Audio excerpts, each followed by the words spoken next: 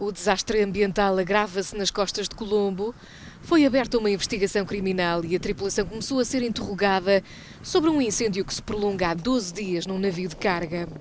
O porta-contentores com bandeira de Singapura, que transportava 25 toneladas de ácido nítrico, plásticos, lubrificantes e outros produtos químicos, começou a arder quando se preparava para entrar no porto de Colombo.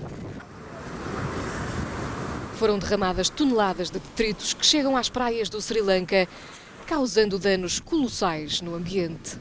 Segundo a Autoridade de Proteção do Ambiente Marinho do Sri Lanka, o capitão do navio já teria notado uma fuga de ácido nítrico a 11 de maio, antes do navio ter entrado em águas do Sri Lanka. Grande parte da carga ficou destruída e oito contentores caíram no Oceano Índico. A pesca foi proibida num raio de 80 quilómetros.